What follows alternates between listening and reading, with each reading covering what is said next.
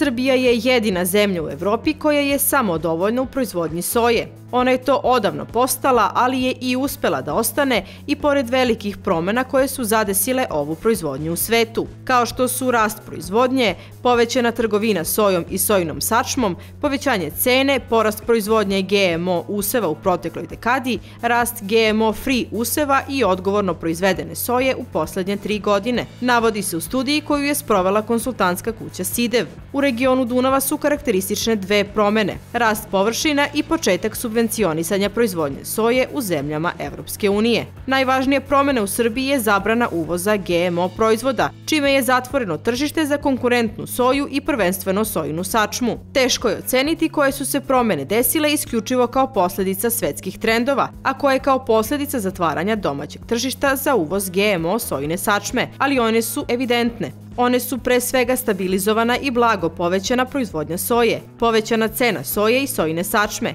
i smanjen, ali ne i ograničen uvoz sojine sačme. Soja proizvedena u Srbiji završi u Srbiji. Najvećim delom ona se integriše u lokalne tržištne lance životinskih proizvoda. Procena je da dve trećine soje proizvedene u Srbiji doprinosi proizvodnji mesa, jaja i mleka. Oko jedne trećine proizvedene soje završi u izvozu bilo kao sojino zrno, sojina sačma, ulje kao komponenta izvršene stočne hrane ili posle dodavanja vrednosti putem prerade u visokovredne proizvode za ljudsku ishranu i druge namene.